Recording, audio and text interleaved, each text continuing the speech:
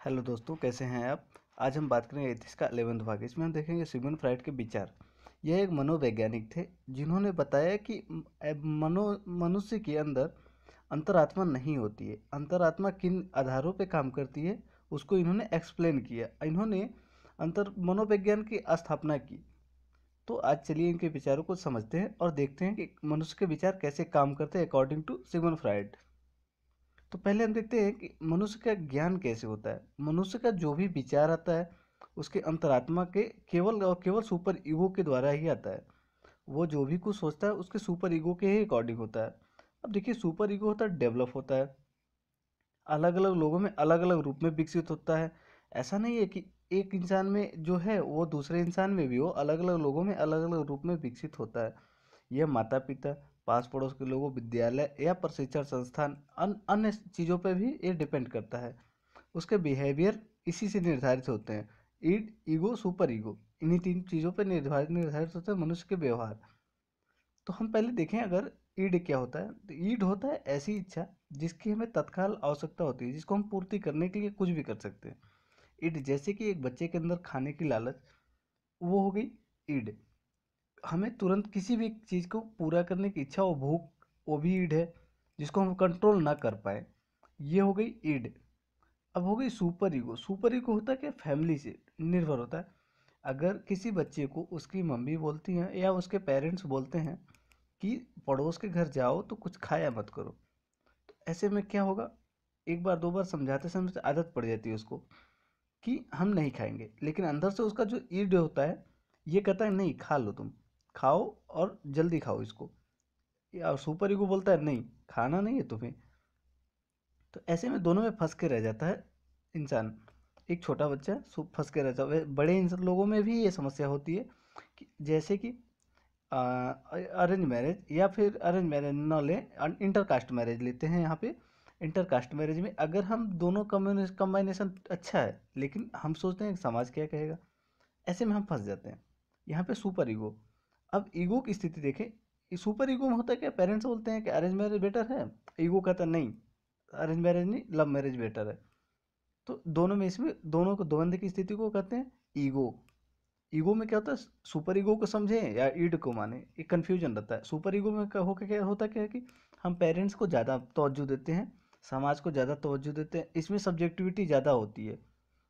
Objectivity ज़्यादा होती है, सुपर ईगो में ऑब्जेक्टिविटी ज़्यादा होती है, जबकि ईड में सब्जेक्टिविटी ज़्यादा होती है। लेकिन ईगो में सब्जेक्टिव और ऑब्जेक्टिविटी दोनों अलग अलग स्तर की होती है। कुछ लोगों में सब्जेक्टिविटी ज़्यादा होती है, कुछ लोगों में ऑब्जेक्टिविटी ज़्यादा होती है।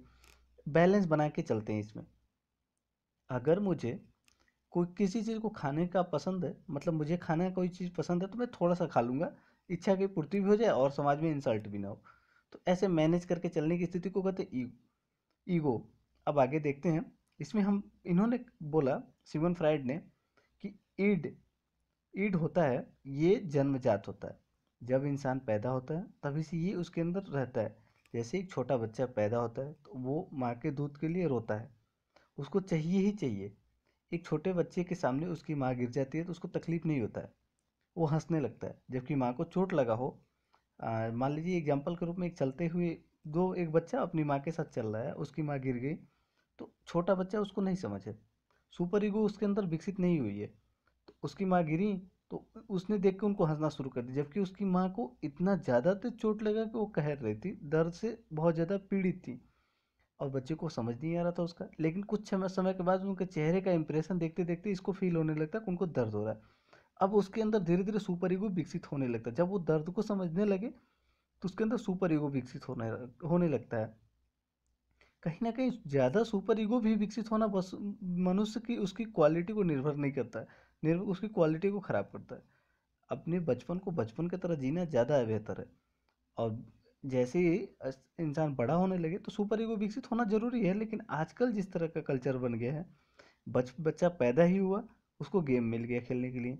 बच्चा पैदा हुआ, उसको अन्य तरह की कृतियों से जोड़ दिया गया। आर्टिफिशियल इंटेलिजेंस से जोड़ दिया गया। मोबाइल में ही पूरा जीवन व्यतीत करता, ऐसे में होता है कि उसकी एक सोचने, समझने की क्षमता लिमिटेड हो जाती है। जब ईड और ईगो सुपर, दोनों को, सुपर ईगो और ईड को, दोनों को समझता है आदमी, तुलनात्मक रूप में अध्ययन कर पाता है तो होता है एक बेहतर निर्णय लेने वाला व्यक्ति, विकसित होता है। लेकिन आज के कल्चर में, ईड तो उतना अच्छे से विकसित नहीं हो पाता है, लेकिन सुपर ईगो उस पर हावी हो जाता है। माँ बाप सिखाते हैं, देखो, ये लोग गंदे होते हैं, ये लोग अच्छे होते हैं, ये बुरा होता है, वो अच्छा होता है, ऐसे उसके अंदर पहले हावी भर देते हैं। वो समाज में घुल मिल के जी नहीं पाता, समाज की डाइवर्सिटी को समझ नहीं पाता। ऐसे में होता क्या, वो निर्णय लेगा तो किसी एक ही पक्ष को लेगा और वो मोब लिंचिंग का एक हिस्सा बनेगा। भीड़ तंत्र का एक हिस्सा वो भी बनेगा। लेकिन जब एक व्यक्ति जिस, जिसने सारे समझ सारे चीज़ों को समझा, सारे समुदाय से मिला, हर चीज़ों को खा के टेस्ट किया, हर तरह से रह लिया, अब वो क्या होगा? जो भी निर्णय लेगा, वो बहुत बेहतरीन निर्णय लेगा। तो सिगमन फ्राइड जी ने बोला कि व्यक्ति के सारे निर्णय उसके इन्हीं तीनों पर निर्भर करते हैं। अगर किसी के अंदर इड ज़्यादा है तो रिजिड रहेगा। उसको चाहिए तो बस उसके लिए चोरी करना पड़े, मर्डर करना पड़े, कर देगा। जिसके अंदर ईड ज़्यादा विकसित हो, हावी हो, लेकिन जिसके अंदर सुपर ईगो हो, वो कंट्रोल करेगा। सहिष्णु व्यक्ति होगा और सुपर ईगो जिसके अंदर होगा, वो सहिष्णु होगा। ईड जिसके अंदर होगा, असहिष्णु होगा। और ईड ईगो ईगो जिसके अंदर होगा वो सिचुएशन को देखते हुए काम करेगा। कोई चीज़ गलत है, नहीं करेगा। अगर कोई चीज़ फ़ायदेमंद है थोड़ी सी गलत है तो कर लेगा। जिससे व्यापक लोगों को नुकसान ना हो, उसको कर लेगा। ये चीज़ों को समझते हुए करेगा, सोच समझ के काम करेगा, सही निर्णय लेगा। तो सिमन फ्राइड जी ने यही बोला कि ईड, ईगो, सुपर ईगो, इन्हीं तीनों चीज़ों पर मिलके व्यक्ति का अंतरात्मा विकसित होती है। किसी काम को करे, ना करे, इसी पे निर्भर होती है ईड, ईगो, सुपर ईगो पे। तो आज के लिए बस इतना ही। Okay, thank you.